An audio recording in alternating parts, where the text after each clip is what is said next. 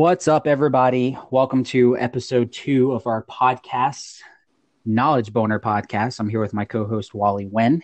And today we have a very uh, interesting topic that I think we could fucking go on probably forever. It's probably going to be a long day today uh, discussing this. But we're going to talk about, um, you know, when you should start a business and why you shouldn't start a business and et cetera. And, and, you know, Wally can attest to this. We had to learn this shit the hard way. So, I'm going to tell you, I'm going to be completely upfront with you. We're going to be completely honest with you. Um, I mean, shit, we've invested, I mean, gosh, a lot of money into courses and, and programs. I mean, you, you've, you've invested in a lot of shit too, right, Wally? Oh yeah, absolutely. I bought, I bought, I can't tell you how many things I've bought. yeah, definitely. So, you know, if you are, if you are trying to, you know, maybe you're at a point in life right now where, you know, you're employed and you're just thinking like, like shit, I need like a side hustle. Um, you know, speaking of which, you know, I'll kind of just share with everybody a story. Um, I'm not going to mention any names. I don't want to get butt hurt, but you know, someone in my family reached out to me recently, um, a few weeks ago, and was like, "Hey, you know, I need to start. I need, I need something. Like I'm in debt. I need, I need to do something on the side. You know, you're always, you're always doing these things. I need kind of a side hustle, and wanted to do like retail arbitrage. And you know, for those listening, if you know what retail arbitrage is, it's if you buy, sell, and you, you, you buy low and you sell high, right? Well, in my head, I'm thinking like, well, shit, like there's a lot of fucking skills that goes into retail arbitrage. And if you're somebody that's just working a nine to five job uh, and you're just employed, um, there's a lot that goes into it. There's a lot of shit you have to learn. And and people like me and Wally, like we love learning. Like I'm gonna go ahead and be very fucking clear on that. So that's why entrepreneurship is for us. Like you know, Wally, we were just talking about this earlier. I mean, Wally, your rate of like consuming books and absorbing it why don't you tell them about that? Like it's fucking insane. Like like dude. Oh yeah, absolutely. I, I, yeah, yeah. I, I, I crush books. Like like I, I literally I'll buy them. So like you know everybody sees that free book offer on the internet. So most of these influencers now they're obviously coming out with free books to kind of give people content like an intro to them, you know. So I'll like buy their books and I'll like literally I'll read them in in a day or two days like once I get them. And it really doesn't matter the size of the book either. It just you know it depends on how interesting the content is, right? Like you know like I picked up uh, what Ping Jun's content multiplier formula, which is like a 70 page book, and I read it in 25 minutes. But yeah. now, like, but now, like, I have an idea of how we should, you know, do content and stuff. So, so that was totally worth it. Like, I, I, I wouldn't trade that 25 minutes for anything, you know? yeah, yeah, definitely. So, like, you know, if you're thinking about starting a business or a side hustle, let me get back to that story. So, you know, first of all, so some of my family wanted to do retail arbitrage, okay, and then was asking me for advice, and I was like, okay, well, there's a lot of skills that go into that. I recommend that you do XYZ. I was like, you know what? Why don't you find, uh, and this isn't coming from me, guys. I read all the books. Rich Dad Poor Dad talks about this shit, okay? There's skills that's involved that you have to have before you do anything. It should never be about money. It should always be about skills. And the first thing that even Robert Kiyosaki says is, you know, join a network marketing company. Never done network marketing, you know, like, oh, but God, so those fucking pyramid schemes and blah, blah, blah. Like, like, shut the fuck up. Like, look at it like a business and just realize that if you are completely new to business, you don't know what the fuck you're doing, like you have to start somewhere. Okay.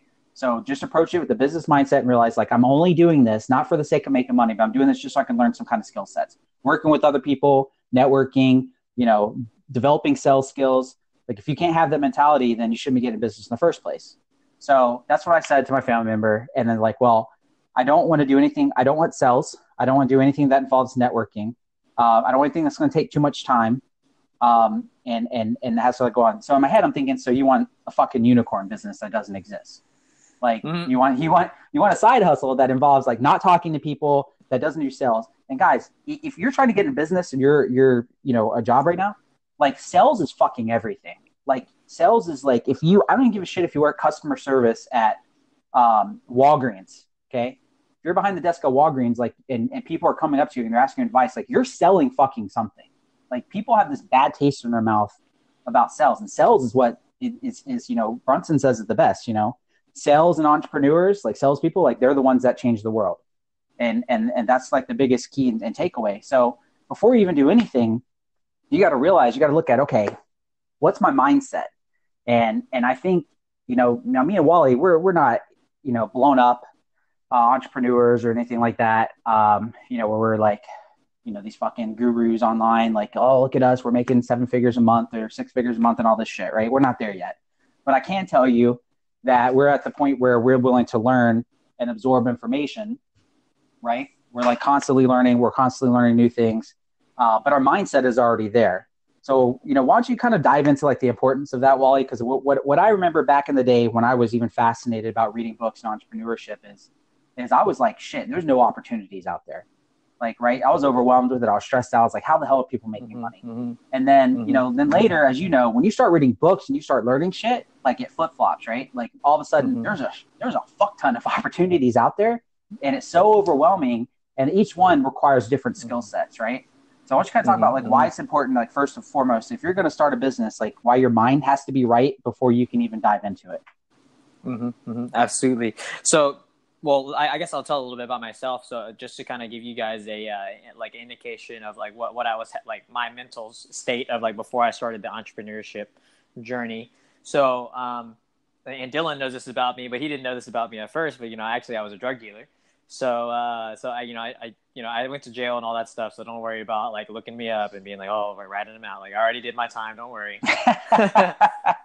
um, so, hey, uh, hey, hey, Gary Vee says that drug dealers are the purest form of entrepreneurs, man. Right, right, right, right. So yeah, and, and it's pretty interesting that he says that, but but you know i mean that's pretty much was my my first response to making money in general so you know i used to work in restaurants and stuff before that before i started doing that kind of work and then I was like, well, what, there's people making money out there somehow or another, and I just happened to come. I just happened to be introduced to somebody that you know was in that line of work, and he made a crap ton of money. So I was like, that mm-hmm. looks like something I want to I want to do.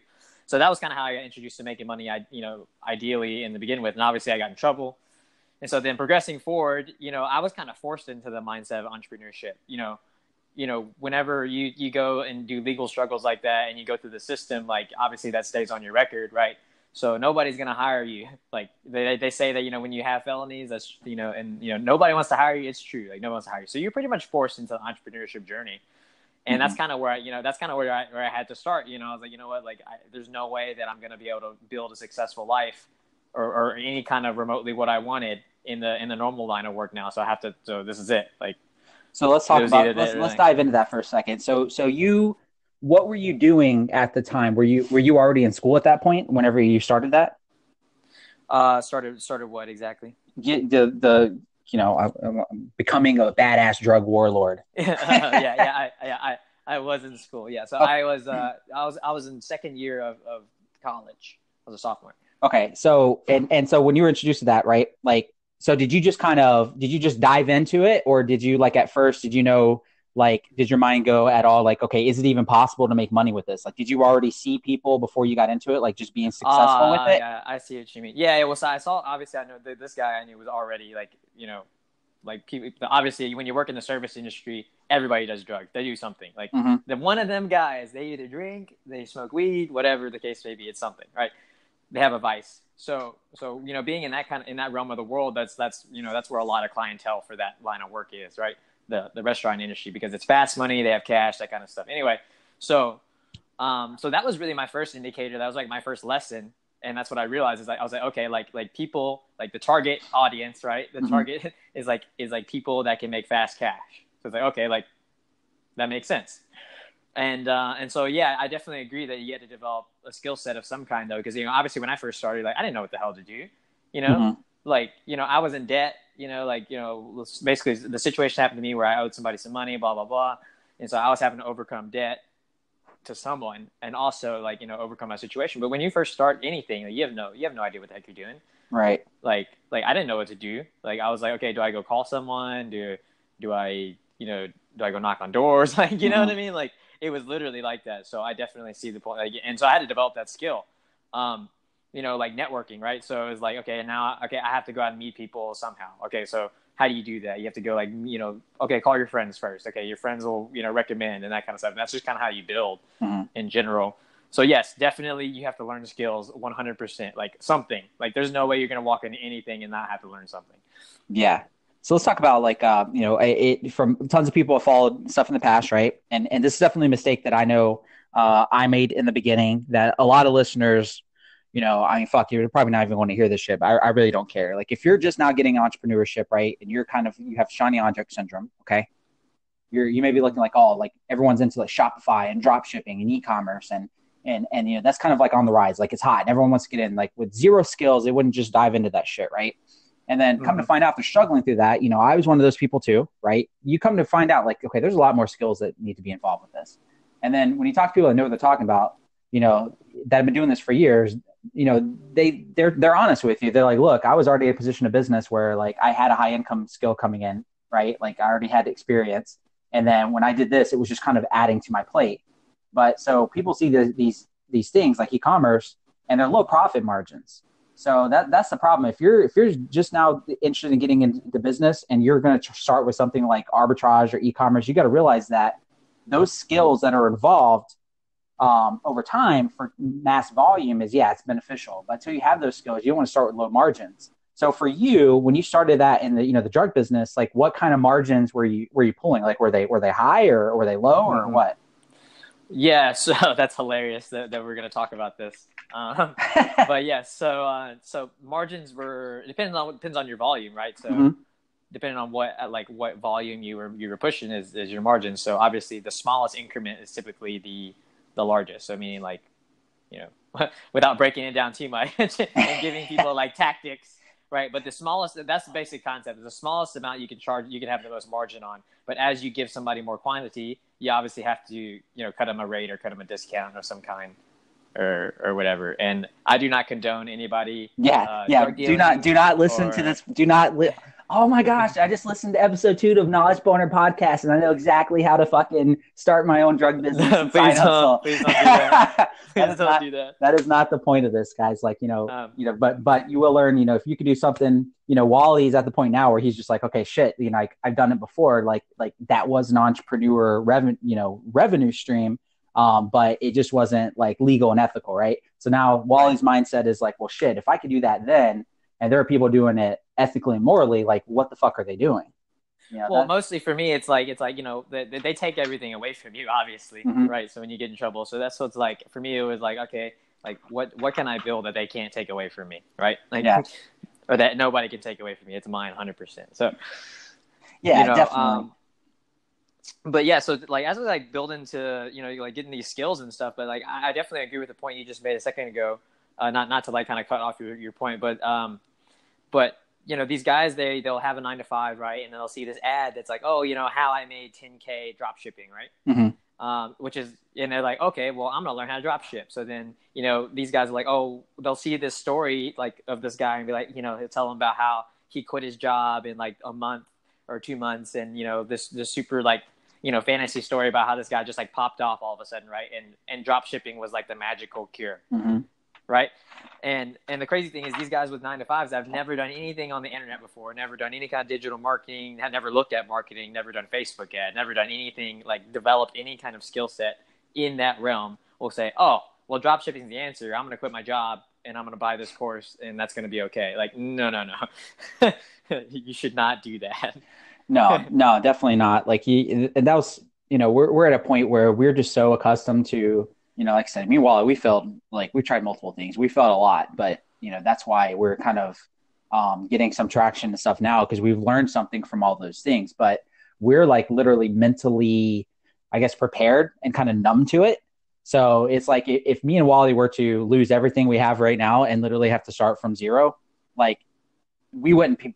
I mean, like it is okay, whatever, right? I mean, we, you know, Wally, I mean, shit. Why don't you tell them about tell them about recently the struggles of um, you know what happened past month about uh, you know you you having to bounce from place to place and, and you move into Texas. Just give them a brief synopsis of that. Oh yeah, so so it's been a little, it's been a few months now, but just the brief synopsis is, you know, the the company that I had been building with uh, with well with my old partner, you know, it happened to crash and burn or people pulled out, whatever. So I, I basically pulled my stake out of that. But you know, as a contingency of me working in that program or working in that in that company, I'm sorry, you know that that was my living situation, right? So so basically, what happened to me is, you know, I basically got ejected from that house and then proceeded to be ejected out of four more homes uh, within within that month, and then eventually ended up so and where I am now in uh, in Texas, uh, in a more stable location.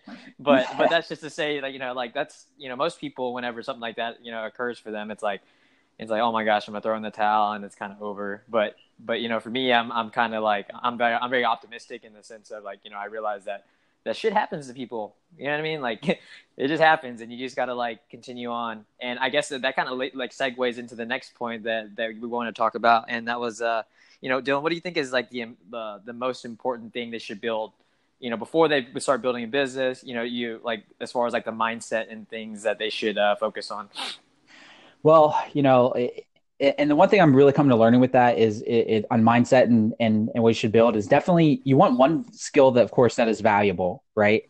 It, what I mean valuable is like this one thing you're doing, whether you're you're you're building a job, working nine to five, whatever it is, um, is going to create you uh, uh, a significant income on the side. Okay, and like so you have income to support yourself, but your mindset literally does like I I I I can't stress this enough. Like when I when I see people that have never like struggled before, because you know why? Like we we we fucking struggle. Like and we're immune mm-hmm. to that shit. But when I see people that are like, oh, like I've I've you know I'm gonna start a business, blah blah blah, but they're very like panicky and they're they're like terrified of fucking failure. They're terrified of of doing shit wrong. And in my head, it's just like I, I like I just want to reach out, like don't do it. Like you're not there yet.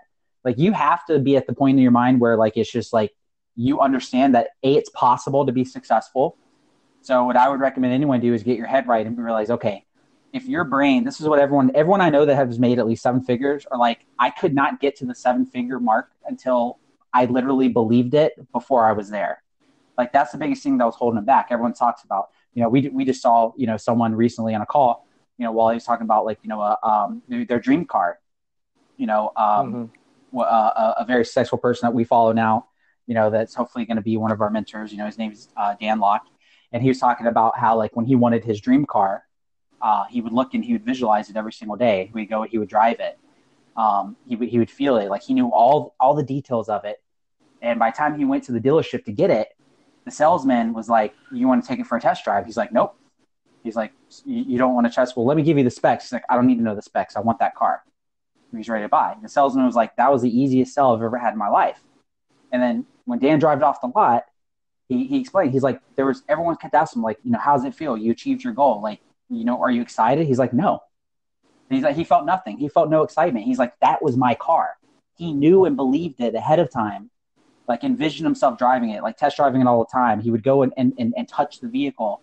And, and in his mind, he was like, he had the fucking car all along and that's how he was able to even get it. So he wasn't excited when he achieved it. In his mind, it was like, like you, you guys don't fucking get it. Like this was my car from the get go.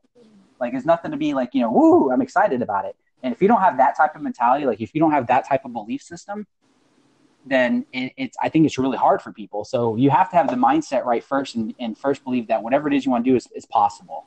Okay. And then second, you have to have at least some kind of money set aside, guys. If you want to shortcut your learning curve and you want to go through the struggles and and and, and everything, then great. But if you can just take the time and set money aside, find somebody that's doing whatever it is you're interested in, and for God's sakes, just save up and fucking pay them. like find like a mentor, somebody that's that's can shorten that learning curve. Like don't don't be one of those people that I used to be like this all the time, where I would like always save a buck. Like I would be so excited and post like anything with my car. Uh, or figuring stuff out and going on YouTube and be like, oh, I just saved so much money. Like I could have just paid blah blah blah blah, but I spent time and figured it out and and just fucking pay the money and have somebody like show you or or, or do it for you or, or help you like get to that next level. Like you have or to have buy their course. Yeah, exactly. Right. You know, if you go to people like and and it's hard to get people's time, yeah, but you can't have this like broke mentality of um, okay, I want I want this income and stuff. Like guys, if you're listening to this, let's be real. Every single one of you motherfuckers have an iPhone. You all you have an Android. Like you're buying the new shit all the time.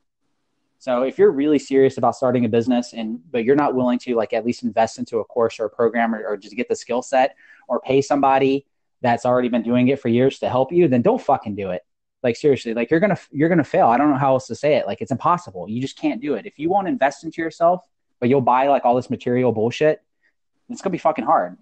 Like and and that's really that's my biggest takeaway on it. Mm-hmm. Absolutely. Uh, that was awesome. So like you know for and I, I have we, we kind of talked about this one time, but I, I think it's kind of applies here. It's like uh, for you gamers out there, it's like you know li- life is like a video game, obviously, mm-hmm. right? But that that you know it's free to play, right? For you gamers out there, obviously you know that there's games that you can play for free, but then at some point you're gonna have to pay money into the game to kind of be the best, right? Mm-hmm. And so so applying that exact same logic to, to normal life. You, you can only get so far in life with the free shit. Eventually, you're gonna have to pay to play to win. Yep. Exactly. You download download the, the app for free. then you then you start playing the game. You're like, man, how are everyone leveling up to me? You realize they're buying the 99 cent shit. and then you're you're you're sitting there. I do it happens to me all the time. You're like playing, playing, playing, and then like you're getting your ass beat. And you're like, man, that's not fair. Like these guys are paying, they're putting a dollar here, twenty dollars here at a time, and they're just leveling up super fast, and they're crushing your fucking face. Like, yeah, because you got to pay to play. yep, exactly. analogy. And and speaking of that, you know, like you know, tomorrow is going to be an interesting episode uh, for like kind of like motivational Wednesday. Wednesday is going to be a little bit off topic. Um, you guys will see. You're in for a little treat on uh, shit that we're into. It's going to be very controversial. Uh, most entrepreneurs are going to say that uh, you can't do the things that we're going to mention tomorrow, and we're definitely going to be like, "Fuck that," and we'll explain why. So definitely excited for our Wednesday talk. Absolutely. And, and you know, thanks Wally for sharing the uh, you know the, the drug story. You know, kind of give him like a, a inside scoop of what you know used to be like, but you know the skills that are involved. And um, you know, hope that was interesting for everybody, and kind of gives everyone a, an idea of what it takes to start a business. And thank you guys so much for tuning in, and we'll see you on tomorrow's episode.